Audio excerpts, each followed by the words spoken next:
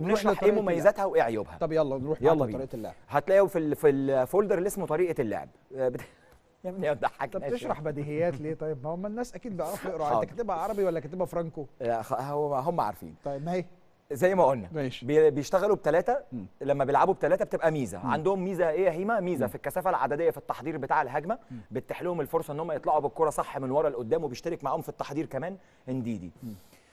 لكن في حاجة هيما لازم تقف عندها. ومتمرنين عليها وفي الحالة اللي جاية. المهم هم ثلاثة واحد وادي الأربعة اللي في نص الملعب وهتلاقي اتنين قدام. على طول بيشتغلوا عليها في التحضير. بتديهم كمان كس... وادي الاثنين اللي قدام اللي اتكلمنا عليهم. الحالة بقى اللي بعد كده عشان دي تهمني ليه دي ماشي. حاجة متحفظين. ماشي. طيب هم هنا تيم الراس الأخضر قابلوهم. حط الراجل قام حاطط لهم ثلاثة قدام الثلاثه اللي بيشاركوا في مرحلة بنايه الهجمة. ثلاثة أزرق قدام الثلاثه الأبيض في أخضر. ماشي. حتى نديدي اللي باين جوه الكادر هتلاقي في ظهره الراجل رقم سبعة بتاع نص الملعب جاي مكمل. فإذا ال goalkeeper اخذ القرار مش هنحضر من تحت ع- هلعب طويل. طويل. طيب ميزة ميزة لما بيلعبوا بثلاثه واحد أربعة اتنين لو هم كسبانين الكورة بتديهم كثافة عددية في الكورة الثانية واحد أذكياء جدا لما بيلعبوا الكورة الطويلة دايما بيلعبوها عند عثمان أو إيجالو. إيجالو قوي جدا دفاع آه، هجوميا الاثنين مش موجودين يا جماعة. الاثنين الحمد لله، اللي آه. مش موجودين. ولا جاله جاله يا سيدي ولا هنكسبها. ولا التاني. هنكسبها بإذن الله. حجازي هيكسبها. ماشي. ما شاء الله حجازي طويل وبياخد العالي كله. طيب. بس هم عندهم بتديهم أفضلية في الكثافة العددية إن هم ياخدوا الكرة الثانية بص كده يا هيما ورا الحكم جاي مين؟ أيوة. كولينز وجاي أليكس أيوبي. والكرة لسه هتتلعب عند عثمان. وبالتالي الاثنين قريبين. وبالتالي لما آه، عثمان حتى لما بيخسر الكرة بتلاقي فيه كثافة عددية. في نص الملعب من عندهم من الأربعة في الاتجاه اللي رايحة فيه الكرة يقدروا يعملوا rebound وياخدوا الكرة ويبدأوا يلعبوا كرة من تاني. لو عايز ميزة- تعلق على حاجة قول. لا لا لا أنا معاك. طيب. فدي ميزة من المميزات. هكمل لك. اللي بعديها. هنا بقى دي ده العيب. دي بالمناسبة دي مباراة أفريقيا الوسطى. كانت في نيجيريا. ولعبوا بأربعة ورا. خسروا من أفريقيا الوسطى على أرضهم. متخيل؟ نيجيريا بتخسر على في حد أرضها. حد بيخسر من أفريقيا الوسطى؟ مثلا. مثلا. يا إيه ده؟ إزاي الناس دي بتخسر من أفريقيا الوسطى؟ وعلى أرضهم. وعلى أرضهم. في نيجيريا إيه في, ليجوس الناس دي إحنا ما نعرفهمش خالص. الحمد إحنا لله. عمرنا ما خسرنا آه خ- خلاص خلي الطبق مستور. هم بيحضروا بقى هنا اتنين اللي بيشتركوا في مرحلة بناية الهجمة. وبرضه محافظ على إن الباكين زايدين شوية. في مرحلة ال- الصورة اللي بعديها بدأوا التحضير. هتلاقي إن نديدي نزل ما بين الاثنين كمل. الصورة اللي بعديها الراجل انديدي بيتضغط عليه. وبالمناسبة معظم الفرق اللي بتقابل نيجيريا بتضغط على انديدي لأن هو بمثابه راس التعبان هو اللي بيخرجوا بيضم-. هو سلام بيخرجوا. بيه على الكورة. هو اللي بيخرجوا بيه على الكورة.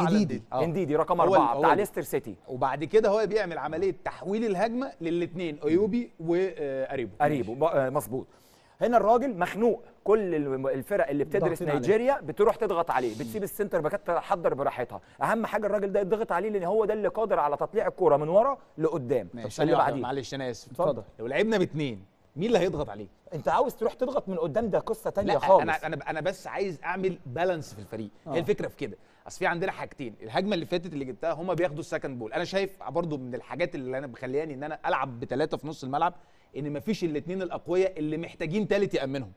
هم لعبهم هيبقى أكتر من تحت سواء شيكويز ياخد الكره ويجي أو أحمد موسى ياخد الكره ويجي فلعبهم هيبقى shadow strikers أكتر منه مهاجم صريح. واقف. مهاجم صريح. shadow strikers أنا مأمنهم بثلاثه حلو أنا بقى مأمنهم بثلاثه وسايب المساحة اللي ما بين الخطوط فيها أنا حلتها لك يا عمر. أيوبي هياخدوا محمد النني معاك. وقريبه هياخدوا لما هو تريزيجيه. يخرج لما هو يخرج بالكرة على نديدي طبيعي حد من الاثنين هيروح. هيروح يقابله. وهيروح لا، يقابل. ما أنا عشان كده بسألك أنت الراجل هيروح يقابل من قدام ولا هتستناهم؟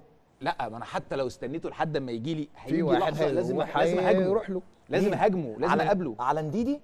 اللي جايب الكوره ايا كان. محمد اللي هياخده.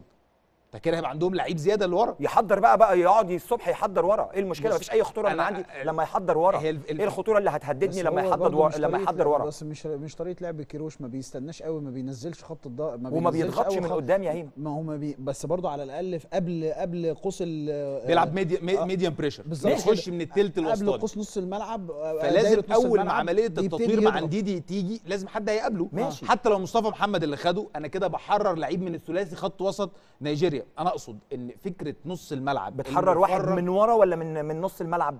لا هو أنا already معايا اتنين تمام؟ واحد منهم راح. قلت لك واحد النني. هياخده والتاني تريزيجيه هياخده. ف انت انديدي. كده س- سبت تريزيجيه بالظبط. فنديدي فاضي. هضطر أجيب عليه مصطفى مصطفى مصطفى محمد. أيوه الرد. فبقى في ثلاثة ورا على اثنين على صلاح وعلى مرموش. plus ان أساسا مش عايز اتكلم على كيروش أنا بتكلم على تركيبة ال- الخطة دي عامة. لكن كيروش أصلا هو مش عايز الثلاثه اللي قدام يدافعوا. خالص. ما لهمش دعوة صح. خالص. ده هو القصة بتاعت شريف wing وصلاح wing ومصطفى محمد في ال 18 عشان دول اللي يجيبوا الأجوان. عشان الثلاثه يبقوا ثابتين قدام استنساخ لفكرة ثلاثي ليفربول. ليفربول. جوتا ماني صلاح. ما بيرجعوش. فكون إن أنت هتسيب الثلاثه دول ثابتين مع الثلاثه وتسيب إنديدي لوحده عشان تأمن في خط الظهر مع تركيبة أصلا هم ال- اللي أنت خايف منه مش موجود أوسيمين أو إيجالو الراجل اللي هيستلم فأنت عايز واحد في ظهره عشان ال second ball واحد يقابل يعني أنا شايف إن هي يعني ثلاثة هي اللي هتديك والله الراجل ده بيقول كلام زي الفل. هتديك كثافه شوية هنا. والله وانت كمان بتقول كلام زي الفل. وانت احترت. والله العظيم أنتوا حيرتوني وحيرتوا الناس وأنا ابص لك مقتنع. اتكلم تشتري مني برضه اشتري منك ومقتنع. المهم كيروش يشتري. المهم هو بس اللي كيروش يصبر. هيروح يشتري من محل تاني خالص. بالظبط. ولا منك ولا منه. طبعا دي معروفة. بقى اللي أنتوا عايزينه هو الكلام بفلوس. مظبوط. آه. بس أنا زي ما قلت لك الرد على النقطة دي هو مش يا ريت يا جماعة يزود انديدي. هو مستحيل يسيب موقف 3 على 3 منهم يا جماعة 3 على 3 ومن الواحد من الثلاثه دول أيوة، محمد. صلاح. بس بس الكرة معاه. هو حتى لو الكرة معاه يا عمر. خد بالك أنا وأنا لازم وأنا بهاجم لازم أكون واقف صح ورا دفاعيا أنا أنا أنا هقول لكم حاجة تهد لكم القصة دي كلها على بعضها. كارلوس كيروش أصلا طول الوقت هو بيلعب 4 3 3 فالراجل ده بعنده بطريقة اختياراته بس كده بعنده. بطريقة اختياراته. ده ده عند كروي يعني. مش هغير أي حاجة. طبعا. هي دي طريقة اللعب بتاعتي. همسك اللي همسكه هعمل رقابة على اللي هعمل عليه رقابة هعمل ضغط عالي في الوقت اللي أنا عايز أعمل فيه ضغط عالي هرجع شوية تحت الكورة أي ما يكون من الأشكال بتاعة الضغط هو هيعملها بس, بس الطريقة أنت بقى خدت من على. لساني اللي أنا كنت عايز أقوله آه كنت عايز أقول هي شفت في سهلة إزاي؟ آه هي في مالك النهاية بقى في إيه؟ لا خالص لا والله لا أنا بتكلم بناء على الحالات يعني. فاستحضرني لأن آه. فعلا هو نديدي هو محور الأداء هم اللي بيخرجوا عليه بالكورة ففعلا أنت هتحتاج هتحتاج حد يضغط عليه فعشان كده فتحت باب النقاش. بس هي في النهاية 4 3 3 أو 4 2 3 1 أو 3 هي الفكرة كلها تبقى في الواجبات بقى. هو هيدي واجبات هيكلف مين بإيه؟ لأن في الآخر وأنت أدرى مني طبعا بالقصة دي إن الشكل الرقمي مش مهم قوي. هي الواجبات بتاعتك فين؟ بالظبط، مين. هيقابل مين؟ برافو عليك. ومين هيغطي المساحة اللي عاملة إزاي؟ هي دي المشكلة. هيك أو مش بلاش دي المشكلة. هي هو ده التكليف المهم. مين مع أيوبي؟ مين مع قريبه مين هيقابل إنديدي وهو بيطلع بالكورة؟ طب لو إنديدي ما طلعش بالكورة مين هيرحل ورا؟